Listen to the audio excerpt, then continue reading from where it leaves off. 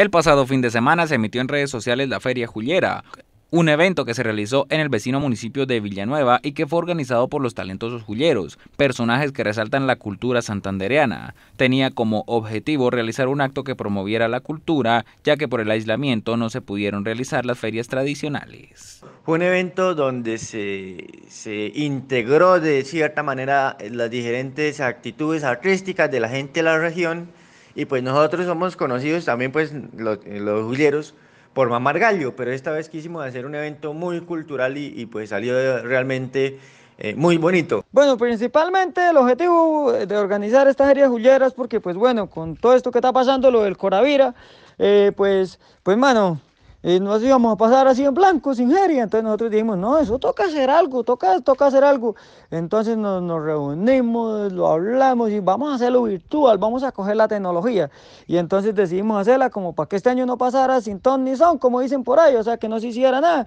Entonces pues decidimos hacerlo y, y pues también lo hicimos como, como una manera de convocar un poco más a que, a que nuestras festividades, no solo en Villanueva, sino en toda la región, sean un poquito más culturales. O bueno, sí, que hagan pero que le paren bolas un poquitico más a la cultura, porque usted se da cuenta y se pone a mirar los, los en vivos de estos dos días y son muy, muy, muy culturales. Sí, hay mamadera de gallo y todo, pero entonces están enjocados bastantes en la cultura, mano.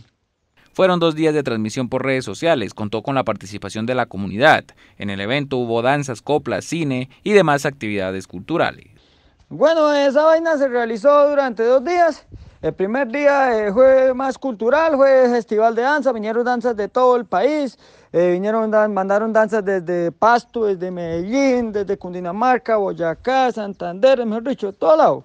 Y también ese día pues fue la bendición del cura para arrancar con todo, con todas las jodas, ¿sí me entiende? Con todo y también hubo lo de los copleritos.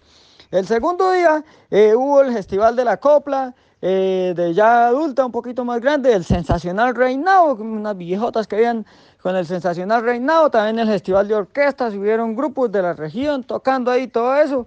También se pasaron algunos documentales como Chocatos, como un documental sobre el padre, el padre Paquito, y bueno, hubo de todo ese día, tuvo muchísimo bueno. Ah, también se hizo una reseña sobre toda la historia de las fiestas en Villanueva. El comercio jugó un papel muy importante, pues se vinculó con premios para entregar a los ganadores. El próximo sábado se realizará la premiación. Premios porque la gente misma fue la que dijo, yo doy para el primer puesto esto, yo doy para el segundo puesto esto otro, y así fuimos armando la premiación porque nosotros no nos tocó poner un peso, aunque tampoco ganamos nada esto eh, fueron como unos 32 o 33 patrocinadores más o menos, porque igual eh, se sigue sumando gente y dice que quiere regalarle al niño que quede quinta, le regalo tal joda y así. Se va sumando y se va sumando, entonces eso suma como unas 50 personas. Además de lo más importante que es el público. El público, esto eh, en el directo que hicimos el día, el día domingo tuvimos aproximadamente 500 personas conectadas en su punto máximo, ¿no? Eso es como para hacer joyería, pero fue un promedio como de 350 personas que estuvieron conectadas y muy pendientes de toda la transmisión del evento. Y valga decir que, que este fin de semana que viene, eh, a las 6 de la tarde, eh, estaremos haciendo como, como la entrega de todos esos premios. Las expectativas se cumplieron y se pudo realizar un evento que fortalece la cultura de la región.